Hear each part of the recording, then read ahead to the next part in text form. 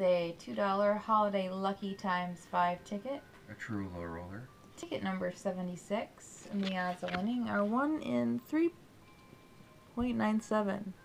So better than the $5 ticket, actually, if you want to go buy a roll of them. Yeah. Better than the a different five dollar one, not the five dollar one in this land because we haven't compared that one yet. I mean, recently. So we're looking to match lucky numbers. And Thirteen. thirteen. We also have a bonus to scratch off. Ten, eleven, sixteen, six, eighteen. Mm, 14, Leave it at Four. 3, 4,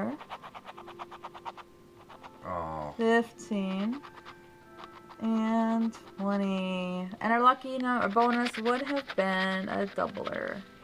Boom. Boom.